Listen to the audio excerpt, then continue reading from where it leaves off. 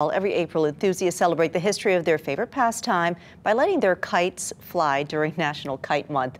KITV4's Cynthia Yip talked to a master kite maker about his passion for kites. That's right, Diane. You might think that kite flying is just about getting a beautiful kite into the air, but it is more than that. A good design is based on math and science. Master kite maker Kelvin Chun is a retired award-winning public school teacher who is one of the few craftsmen in Hawaii who is a master of making and flying Filipino kites. His master's degree project at the University of Hawaii was on kite aerodynamics.